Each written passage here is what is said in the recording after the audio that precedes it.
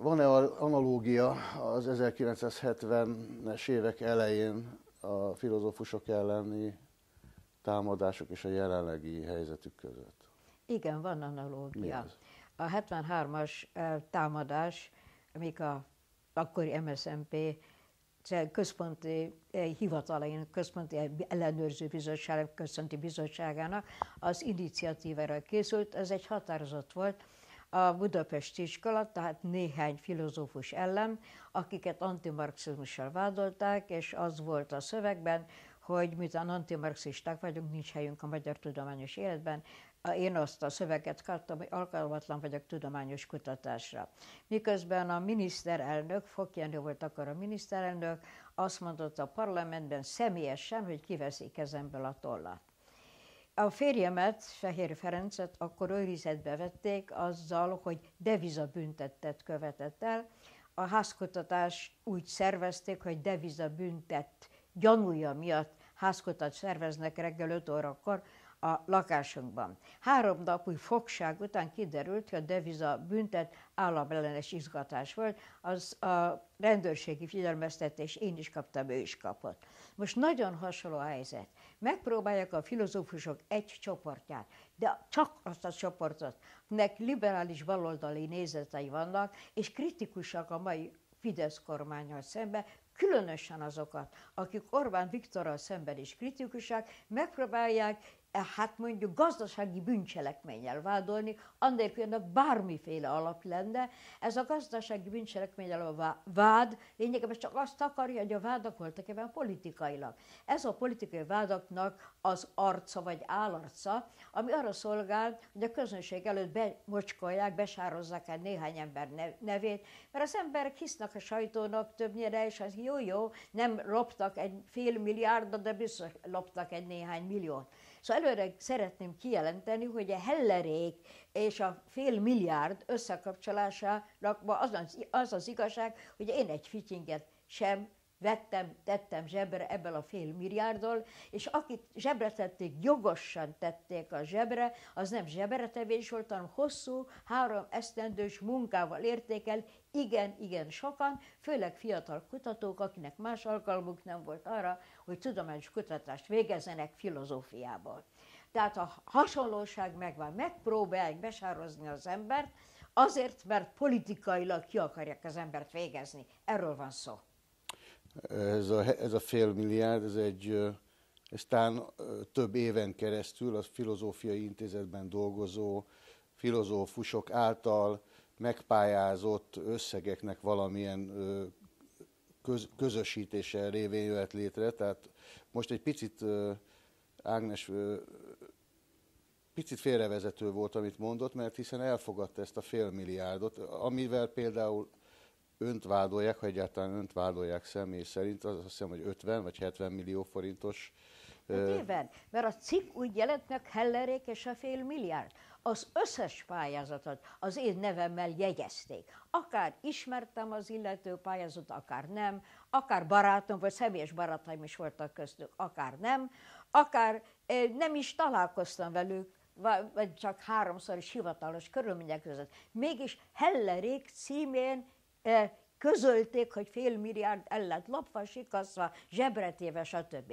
Hogy személy szerint én csak egy pályázatban vettem részt, de az összes pályázatokat Hellerik címé jelentette meg a Magyar Nemzet, nem egyszer, hanem legalább négyszer, minden szövegben. Mennyi ebben az antiszemita él, hiszen éppen most tegnap előtt volt a, egy felebíteli bírósági döntés abban az ügyben, hogy Demeter Tamás, aki a filozóf, az MTA Filozófiai Intézetének igazgató helyettese jelenleg 2009-ben antiszemita kijelentéseket tett Gábor Györgyák kapcsolatban egy karácsonyi intézeti összejövetelen, ahol egyébként Demeter István, a, ma már jogerős ítélet szerint részegen hát mint valamiféle zsidó összeesküvést emleg, emlegette azokat a filozófusokat, akik most pellengére vannak állítva. Létezik ez, ez az összefüggés? kérdés. Most a vélemény ma az, hogy nem okvetlen antiszemiták azok, akik ezt a támadást intézik. De mindig rá lehet játszani indirekte az antiszemita kártyára arra, hogy hatást gyakoroljanak. Ugye a képeket, hogy leközölték, csak zsidó képét közölték le, a nem zsidó képét azokat nem közölték le. Hol, bocsánat, hol közölték le képeket? A, a, a, a magyar nemzetben. Mi a lekép, kiket a képét közölték le, nem csak a magyar nemzetben, hanem a magyar hírlapban, sőt a magyar fórumban is. Az én képen Vajda Mihály Radnóti Sándor képét képét közölték le. Ugye a zsidó képet érdekes a magyar formik, a cuslágot is hozzálakta, nem tudták az ostobak, hogy cusság nem zsidó, hanem antiszemita. De hát vélve német neveket odarakták. Kérem, most Steiger Kornét azért rakták be a csoportba, mert soros él, életműdíjat kapott. Semmi mások nem volt rá. Nem is tudom, hogy liberális politikai gondolkodó-e, de a soros neve már, ugye nem azok számára, akik ezt írják, azok számára, akik olvassák, egy hatásos név. Az is a büdös zsidó áll a hátalmukat. Tehát ismétlem, én nem azt mondom, hogy akik ezt sugalmazzák, azoknak a célja, vagy a motiváció antiszemita volt, hanem mindig rájátszanak arra, mert az olvasó mindig jobban hiszi el, hogyha büdös zsidókra mondanak valamit, mint ha másokra mondanának valamit. Mi, a, mi lehet a valódi indok e mögött, a támadás mögött? Minden kornak úgy látszik, megvan a maga koncepciós pere. Igen, koncepciós per van, és voltak benne nagyon hasonló. Mert 73-ban is olyan korszak volt, mikor mi külföldi lapokba írtunk, és interjút adtunk. A férjem adott interjút például Angliában, BBC-nek, mi adtunk interjút, beszéltünk külföldi újságírókkal. Mi voltunk az egyetlenek, a külföldi újságírókkal beszéltünk. Tehát rossz hírét keltettük hazánknak. Ezt úgy fogalmazták meg, hogy állam ellenes izgatás. Hát most is állam ellenes izgatással vádolnak bennünket. Mert beszélünk a sajtótörvény ellen, beszélünk a magánvagyonnak az államosítás ellen, és hát mondjuk Radnóti és én egy mondatot mondtunk Orbán Viktorral is, én például is, én például azt, hogy Orbán Viktornak diktatórikus hajlamai vannak. Most ezt ő nem fogja megbocsátani. Ugye én nekem az az véleményem, hogy Orbán Viktor ezt örökké emlékezetbe tartja, és hogy nekem az a véleményem, ismétem a véleményem, ugye nem állítom tényként, hogy ő van az egész mögött. Annyiból mindenféleképpen, ugye, hogy itt minden kormányváltás idején kineveznek valakit az utóbbi tíz évben, akinek az a dolga, hogy az előző kormányhoz kapcsolódó korrupciós ügyeket, amelyeket ugye az az indokkal, hogy egy korrupció, tehát egy kormány a saját korrupcióját soha nem fogja leleplezni, vagy a saját pártjának, tehát a kormányzó pártok a saját korrupciókat nem fogják leleplezni. Ugye már az előző időszakban is, tehát még az MSP, SDS kormány időszakában is volt valaki, aki akkor egyébként kudarcot vallott azzal, hogy a, a korábbi Fidesz kormányhoz köthető vagy elképzelt korrupciós ügyeket leleplezze, akkor ez ugye meghiúsult az akkori ö, ö, ügyészségen, ö, megtörtek ezek a hullámok, most viszont megint csak egy hasonló ügy van, ugye megint kineveztek valakit, akinek az a feladata, hogy korrupciós ügyeket keressen az elmúlt kormányzási időszakból. Megtalálta sok minden, önöket. Sok minden lehet vádolni a szocialista kormány, de éppenséggel ezzel őket nem mert hogy a hajóügy, a mesterházi ügy, a cúslábja, ez mind a szocialista kormány idején került az ügyőség elő, és az ítéletek, az első ítéletek is még a szocialista kormányzás alatt történtek meg. Tehát akármit mondhatunk azok a kormány, de nem mondhatjuk azt, hogy, hogy védték az ő sikasztóikat. Mert az ártatlanság védelme mindenkit megillet, de amikor kiderül, hogy nem ártatlan, ők nem védték a sikasztóikat. Itt Ford, másról van szó. Itt önökről szó, meg se nézték, hogy hozzányúltak pénzt. Eleve feltételezték. Tehát éppen az ártatlanság védelmét nem ismerték el. Tehát egy gyűlölethadjárat, gyűlölethadjárat folyik, csak azért, mert más álláspontunk van. És ennyiben nem a mostani szocialista kormányhoz, hanem a Kádár kormányhoz hasonlíthatók. Mennyire veszélyesek a gondolkodók egy-egy egy-egy történelmi korszakban. Tényleg veszélyesek, hát csak ücsörögnek otthon, meg írogatnak, kik olvassák egyáltalán a filozófusokat. Miért ilyen veszélyesek a filozófusok? Nézd, ha nincsenek diktatúrák, vagy nincsenek diktatikus hajlamú emberek, vagy nem autoritatív, autoritatív a kormányzat, akkor voltaképpen nem ártanak a filozófusok, és a kritikusok sem. Az hozzátartozik egy demokrácia működésére, hogy kritizáljuk a kormányt, ironizáljuk a kormányt, ahhoz egy olyan hatalomnak kell lenni, mint az iszlámista hatalom, nem bírja a Mohamedről készült karikatúrákat.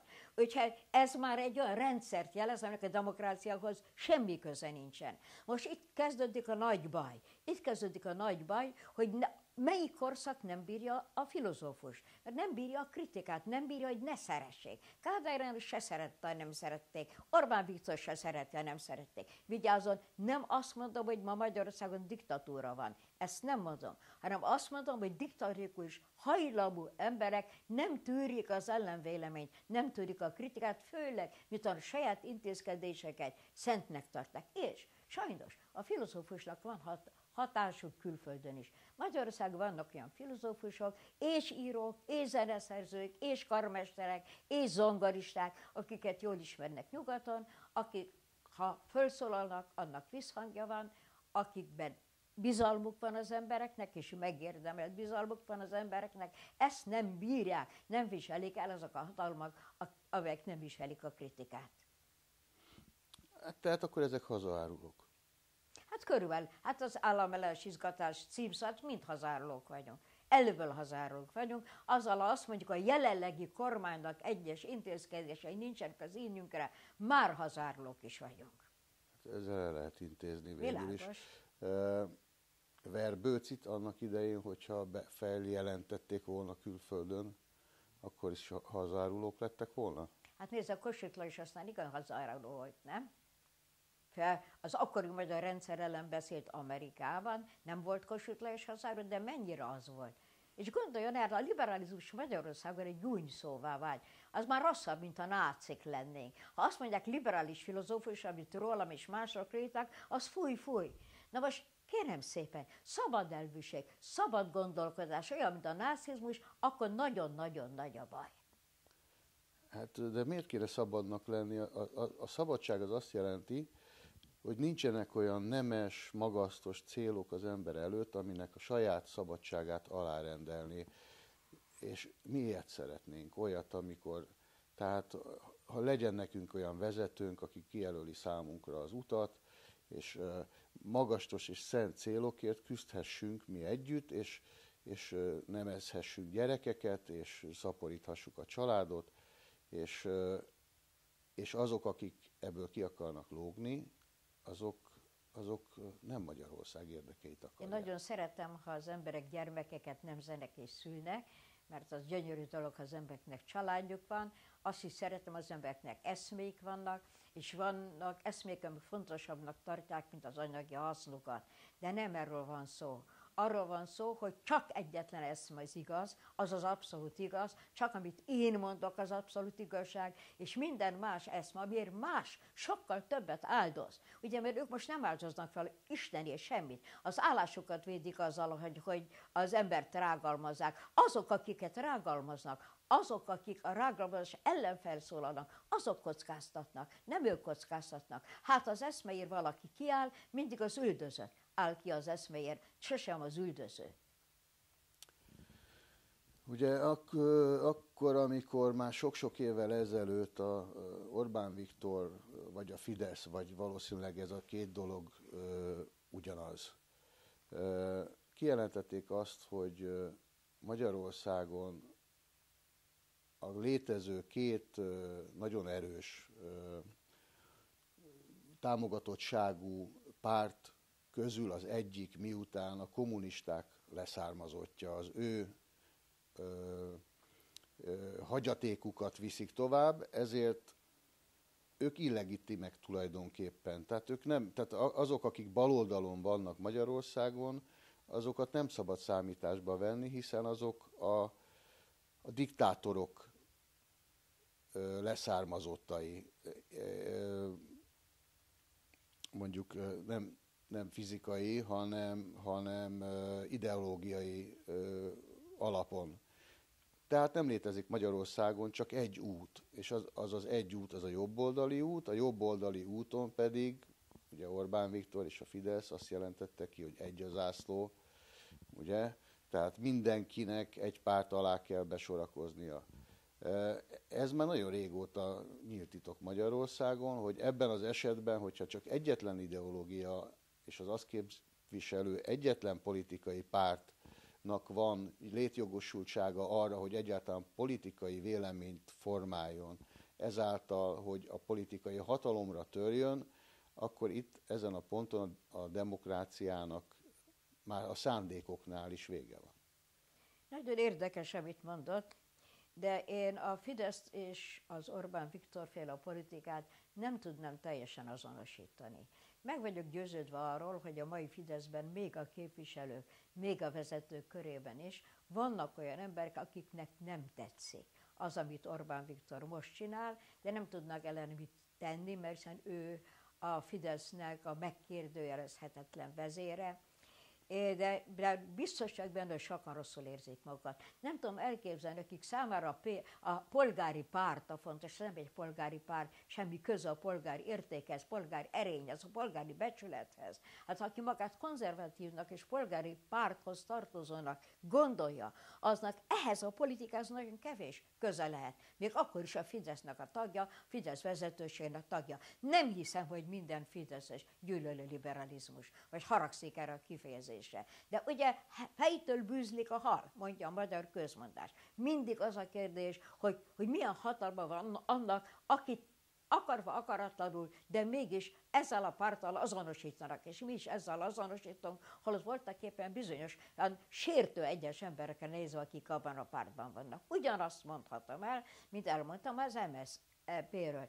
MSZMP-ben is vannak régi MSZMP-sek, MSZP-ben is vannak régi kádáristák, holott persze több kádárista van a mostani eh, Fidesz kormányban, mint az MSZP-ben valahol volt. Aztán egyetlen kormány volt, vagy nem volt kádár is, az Antal kormány volt. Mindegyikben volt. Tehát ott vannak tényleg olyanok, akik a régi rendszerben szerepet játszottak, de az van, de a többségük nem olyan, a többségüknek nem az a koncepció, a többségük másként gondolkozik. De az azonosítások rossz azonosítások, de nem ugyanannyira rosszak. Mert az MSZP-t MSZP-vel azonosítani nem ugyanaz, mint a Fidesz az Orbánnal azonosítani, mely az MSZP-ben több lehetőség volt arra, hogy az emberek a saját koncept kifejezzék, hogy konfliktusok jöjjenek létre, platformok jöjjenek létre, még ilyesmi platform, koncepció semmi szerepet nem játszik a mai Fidesznek a szervezetében, szervezeti felépítésében és az emberek lehetőségeiben. Azt mondja, hogy vannak jó érzésű emberek, akik biztos másképpen gondolkodnak, én 54-ben születtem, és elég sokáig és voltam, hogy mondjam, gyermeke a kádári kornak, lát, láttam ennek a működését, azt is, hogy nem mindenki értett ez egyet azzal, ami történt, ugyanakkor mégis már minimális eltérésért is ugye jöttek és, és dollárt kerestek mondjuk filozófusok szekrénykéjében. Tehát, tehát hiába vannak árnyalatok egy, egy, egy, egy pártrendszeren belül, azok nem fognak a felszínre jutni, legfeljebb belső ilyen-olyan-amolyan vitákban, amikről a közvélemény soha nem fog értesülni, legfeljebb utólag, hogyha ebben már valakit nem leváltotta. olyan biztos, mint ön. Látja, ebben nem vagyok olyan, bízunk az emberekben, nem vagyok olyan biztos benne, mint ön. Magyar Tudományos Akadémia elnöke is önökkel szemben fel, felsorakozott. Magyar Tudományos Akadémia elnöke Pálinkő és József voltak éppen kétértelműen nyilatkozik.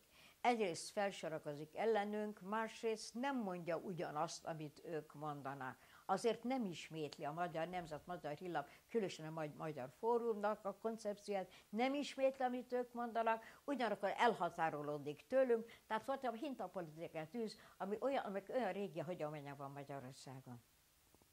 Hát nem, az ő csodálkozik, hogy hogy, hogy ennyi pénzt el lehetett költeni. Hát egy csomó olyan dolgot mond, ami egybeesik, legalábbis az újságbeli de nem, hír, mond, hírekben. De nem, mondja azt, nem mondja azt, hogy elloptuk és elcsaltuk ezt a pénzt. Hát jó, hát hogy lehetett ennyi pénzt elkötni? Én nem védem Pálinkás Józsefet. Én azt mondom, hogy különböztessük meg az embereket egymástól, az emberek nüanszokban különböznek egymástól, ez minden korszakban így van, és vegyük tudomásul, hogy vannak ilyen nüanszok. Az, hogy a Fideszben is vannak ilyen nüanszok.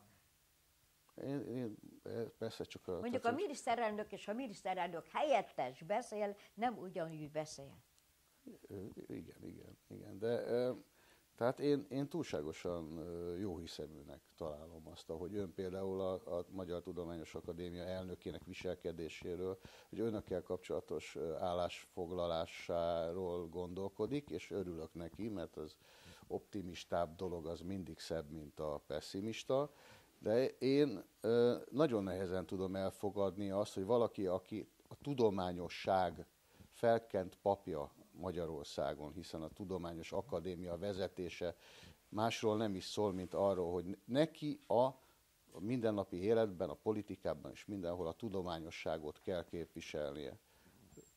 Ez pontosan így van. Tehát tudja, hogy ez nem... Most én nem védem, én nem azt mondom, hogy, föl, hogy ő a saját elvi vagy eszmei feladatát tisztességesen teljesítette, ezt nem mondom.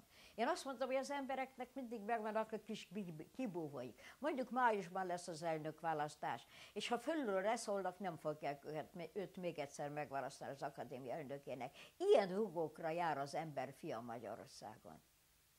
Ez nem biztos a szívéből jön. De ilyen rúgokat jár az ember fia Magyarországon. És nagyon sokan gyávaságból csinálnak, csinálnak, nagyon sokan állásféltésből, többségük állásféltésből és gyávaságból. Aztán persze meggyőzik magukat, nem szeretnek saját maguk csirkefogóként látni saját maguk előtt, meggyőzik maguknak, hogy tényleg hitték azt, amit vallanak, hitték azt, amit mondanak, pedig gyávaságból és eh, pénzféltésből és más ilyen motivumból történt. Ez sajnos úgy mondjam az emberi természet, és ezért Kantnak igaza van, olyan intézményeket kell hoznunk, hogy még a pokolfajzat is tisztességesen viselkedjen ezen intézmények között. Most pedig megváltoztatják az intézményeket. Olyan intézményeket hoznak létre, úgy változtatják meg, hogy a pokolfajzat úgy fog viselkedni, mint a pokolfajzat.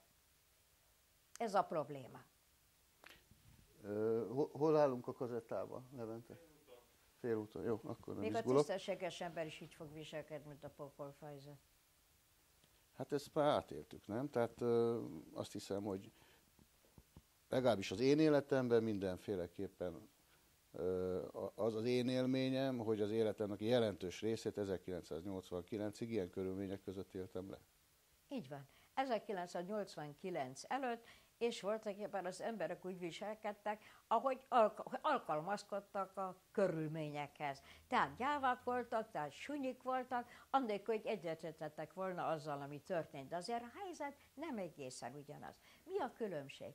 Azért ott egy szükséges helyzet volt. Mi egy megszállt ország voltunk. Szovjet csapatoktól megszállt ország. Nem léphettünk ki abból a körből, amiben minket a külpolitika bezárt. Tehát nem lehetett Magyarországon demokrácia Kádár János idején. Ott volt egy külpolitikai nyomás. Most az Európai Unió tagja vagyunk. Most az külpolitikai nyomás vagy nincs, vagy ha van, egy pici ellenkező irányba van. Tehát most rajtunk múlik hogy marad-e ez a világ, vagy nem marad ez a világ. Amit maga az optimizmusomnak mond, az ennek a hangsúlyozása. Igenis rajtunk múlik. Miattunk vált ilyenné, mint amilyen most, tehát rajtunk múlik, hogy megváltozzék. Mert nem fog a Szovjetunió vagy Csehszlovákia, ami már nem létezik, hogy akárki beavatkozni de akár katonai erővel, akármilyen módon.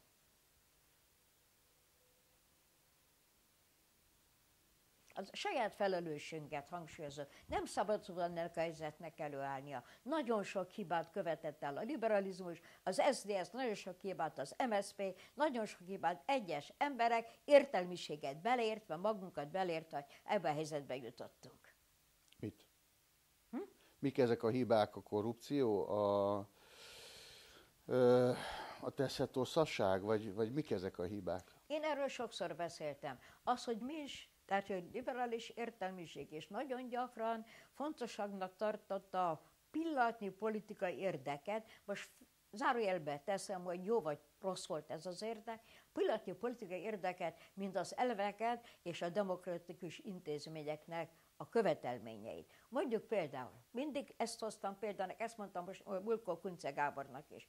Ugye Gyurcsány Ferenc 2006-ban maga ellen bizalmatlanság indítványt nyújtott be. Nem szabadott volna a liberálisoknak neki bizalmat szavazni. Ez egy olyan mértékű elftelenség volt. És ezt elmondtam Kunce Gábornak, azt mondja, ja, ha nem szavaz bizalmat, akkor Orbán Viktor kerül kormánya. Megkérdeztem őt, és most ki van kormányon? Ugye nem szabad az, el, az elveket feladni azért, hogy a pillanatnyi helyzetben egy párt jobban álljon, vagy a parlamentben maradjon, vagy, vagy parlamenti csoportot alkosson, frakciót alkosson. Fontosabb dolgok is vannak akkor. Ha ők akkor nem szavaznak bizalmat. Nagyon nagy hiba volt, mert Gyurcsánynak nem szabad volna 2006-ban bizalmat. Én még kedvelem Gyurcsány Ferencet személyesen. Nagyon tisztességes, rendes embernek tartom, de akkor a politikai baklövés követett el, hogy azután nem szabadott volna megtartani miniszterelnöknek. Abszolút. Erre azt mondtam, jó, akkor nyer a Fidesz, de nincs kétharmad többsége. Négy évre nyer. Úgyhogy ez a rövid látás, ami többször jellemezte, és a az értelmiségeket is, akik támogatták mondjuk az SZDSZ, a liberális értelmiséget ebben az őrülményben. Ugye? Hogy mindenáron, mindenáron kormányon maradni. Ez a leges, legrosszabb taktika volt, és persze közben a Fidesz állandóan destruál, destruál, de mit várhattunk tőle más, mint destruációt? Nekünk kellett volna másként viselkedni. Mi nem viselkedtünk másként. És hozzájárultunk saját vesztünkhöz. Ebben teljesen egyetértek. Ágnessel ebben teljesen egyetértek, így van. Sőt, más korábban is. Bizony, akkor, amikor elvi, elvi alapon a két párt komolyan szembe került egymással, a, a, ugye a társ, társutassá váltak 1995-től kezdve, de voltak olyan pillanatok, amikor ezt a, ezt a társutasságot nem lett volna szabad politikai haszonra váltani. Pontosan. Mert meg kellett volna az elveknél maradni, amennyiben megmaradnak az elveknél, akkor az SDS vagy a liberalizmus Magyarországon ma is egy jelentős politikai tényező. És nem lenne csúfnél. Jelentős politikai szerepet tudna játszani. Hagyományos liberális nem lenne csúfnév. Csúfnév, ez, ez azért megkérdőjelezem, tehát a, a 1989-90-ben az első SZDSZ-es politikai, tehát a, a, a, mostani demokrácia születésének első pillanatában a belvárosban az SDS politikai választási plakátjainak a jelentős része át volt húzva, és öles betűkkel rá volt írva, hogy zsidó. Ettől a perctől kezdve a, a, a liberalizmus és az antiszemitizmus hogy mondjam, bélyegénvel kellett, hogy megküzdjön, és hát mi sem kell az egyszerű embernek. Akármi volt a plakáton írva, antiszemitizmus mindig van, mindig van, talán mindig is lesz. Az ország lakosságának majdnem a fele ugyanakkor az SZDSZ-re szavazott. Igen.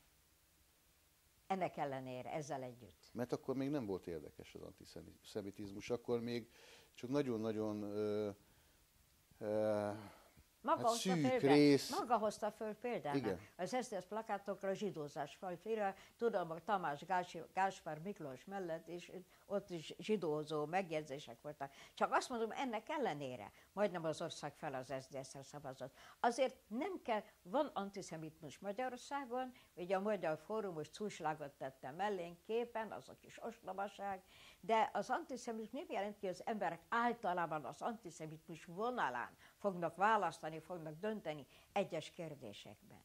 Magyarországon az a baj, hogy nincs liberális konzervativizmus, ezzel megszűnti az SZDSZ, most hozzákötötte magát, akkor is, mikor nem szabadott. Ugye a, a szocialistákhoz, ez nem a szocialisták kritiker, azt mondom, nem volt önálló liberális politika. Van, ha önálló szociáldemokrata politika, legyen önálló liberális politika, nem volt ilyen politika. Ennél fogva Magyarországon, aminek nagyon lennie kéne, konzervatív liberalizmus nincs, nem létezik, mert arra lenne ennek az országnak leginkább szüksége.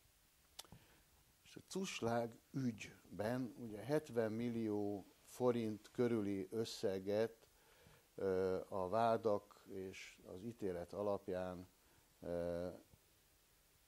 pályázati úton különböző ö, ö, szocialista ifjúsági szervezeteknek ö, juttattak el. Ezért a 70 millió forintért ö, 8 és fél év börtönbüntetést szabtak Nézze, ki. Cuslag tényleg csi- csinált valamit, ami nem volt legális. Tehát megérdemli, hogy vádat emeljenek ellene. A, mondjuk a büntetésnek a mértéke azt mutatja, hogy ez is egy kirakat per. Csináltak belőle egy kirakat per. Ennél kevesebbet adnak emberölésért, vagy, vagy er- megerőszakolásért, mint amit neki ezzel kb. 90%-át vissza is fizette a pénznek. Ja, itt is valami van mögötte, mi lehet mögötte, amit én felteszem, nem tudom. Nehogy azt mondják, hogy most hazudtam. Felteszem, véleményem szerint, véleményem szerint azt arra akarták rávenni, hogy Gyurcsány ellen tanúskodjon. És ha azt nem tette, akkor lehet, hogy még 15 évre fogják- emelni a büntetését büntetésképpen. És ez már nem jogi büntetés, ez politikai büntetés. Ezért mondtam, Cuslák per, aminek volt alapja, ez most már kirakat perré változott.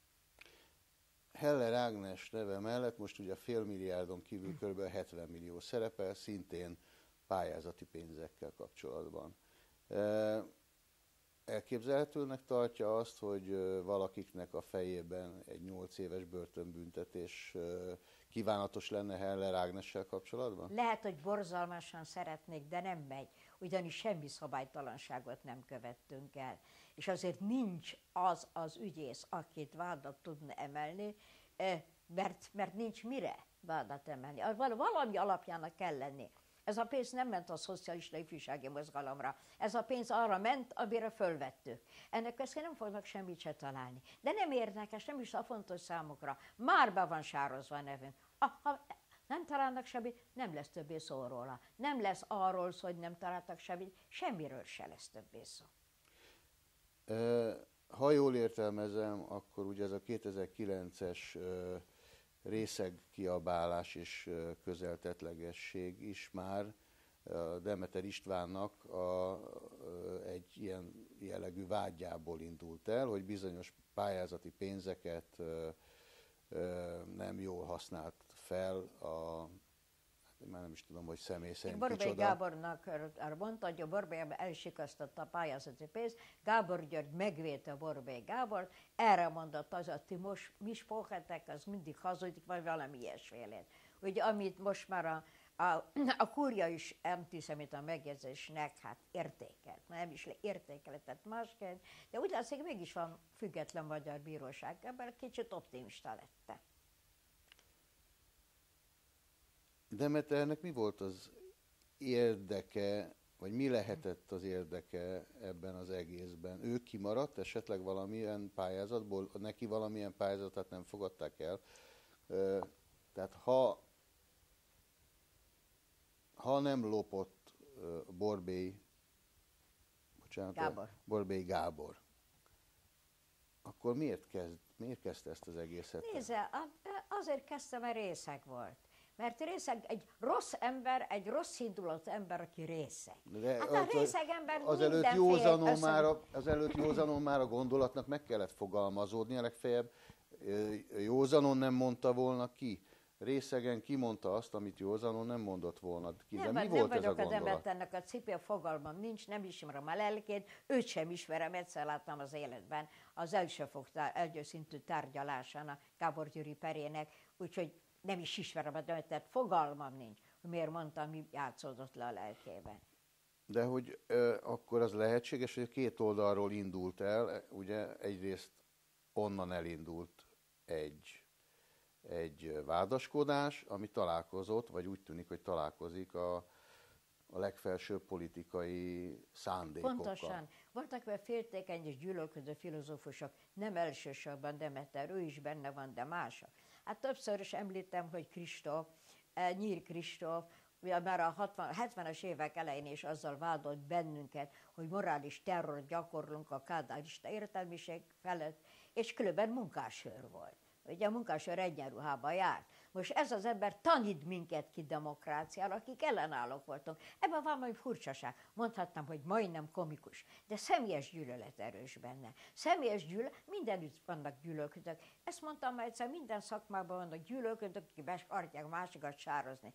De nem minden újság hozza el a gyűlölködőknek a, a nyilatkozatait, nem mindegyik támasztja alá, nem mindegyik ad neki politikai hátországot, nem mindegyik közöl e filozó, gyűlö, filozófiai magánügyeket, gyűlöleti magánügyeket nyolc napon keresztül a jobboldal minden sajtójában. Itt ők csak eszköz, ők, akik az anyagot szolgáltatták, de a motor nem ők voltak.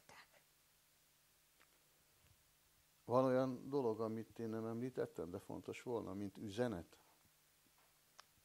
Két. Én nem üzenek semmit, csak azt mondom, hogy, mint előről mondtam, hogy semmit az égvilágon nem fognak találni. A főinkvizitornak most átadták, tudja, van egy főinkvizitorunk, annak átadták most, hogy az eretnekséget kutatja az inkvizitor, eretnekséget gyorsan föl tudja fedni, de pénzügy visszaélés nem fog fölfedni. És ebben különbözik ma a Kádárta rezsim, hogy az eretnekség alapján az embereket mégsem lehet börtönbe dugni. Hogy akkor antimarxista az elég volt, de most, hogy liberális azért nem lesz elég. Mert nem találnak semmi más, azt hiszem, hogy a dolog el fog a végén aludni, de nem fog elaludni, mert itt van a levegőben, és csomó ember azt tényleg elhiszi azt, amit mondtak egyszer neki. Mert az ellenkezést sose fogják mondani. Helyreigazítás nem lesz a magyar nemzetben. Holott? Holott? Én pert indítottam a magyar nemzet ellenben, és az első kérés mindig helyreigazítás. Nem fognak helyreigazítani, sose közölnek helyreigazítást ezek a lapok. Úgyhogy az emberek azt mondták, jó, jó, jó, hát az, hogy valaki par, pert nyert vagy vesztett, kit érdekel, az nem jelenik meg sehol. Csak ilyen pici betűkkel esetleg. Tehát a besározás besározás marad, akármi a következménye. Sokan dolgoznak ebben az országban is, mint máshol is, a, úgy, hogy az agyukat és a lelküket adják oda másoknak. Az értelmiségre gondolok. Milyen üzenete van ennek az ügynek az értelmiség felé? Azért ne idealizáljuk magunkat. Lelkünket, szellemünket odaadjuk, de élvezzük azt, amit csinálunk.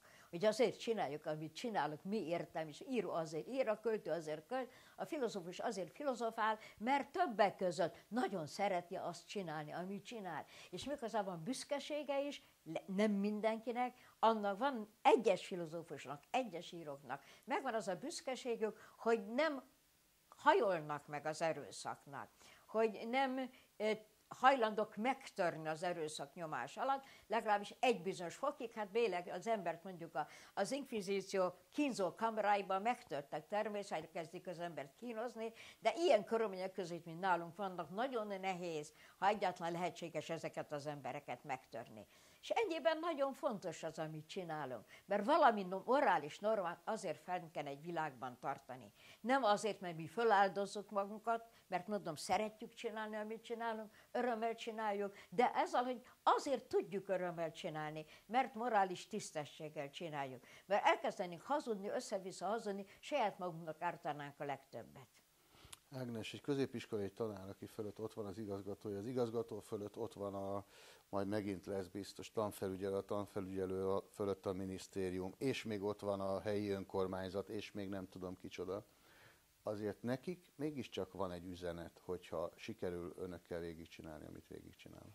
Nézze, a szegény tanító az olyan mértékben függ a följebb valójától, és a magyar porosz oktatási rendszer olyan mértékben elavult, még ma is olyan mértékben elavult, hogy nem lehet senkit se kárhoztatni azért, hogyha kicsit lapul, ha kicsit elgyávol, mert hát ahogy szokták mondani, mindenkinek családja van, gyereke van, és egyebek. Nem akarok morális kritikát gyakorolni azok felett, akik most mellé lépnek, és azt mondják, hála Istennek nem mi vagyunk találva, hála Istennek másokat talál, hála Istennek mi vidéken vagyunk, kit érdekel a falu, ezek mindig központi emberek, minket vidék nem ismernek külföldön, mi nem írunk külföldi lapokba, a mi nézeteink nem érdekel senkit. Na, e, így beszélnek az emberek, és abszolút, nehogy azt higgye, nem gyakorolok morális terrort. Nem kárhoztatom ezért az embereket, egyáltalán. Én csak azokat kárhoztatom, akik az embereket ilyen helyzetbe hozzák. kimúlik az, hogy, hogy végül is, tehát,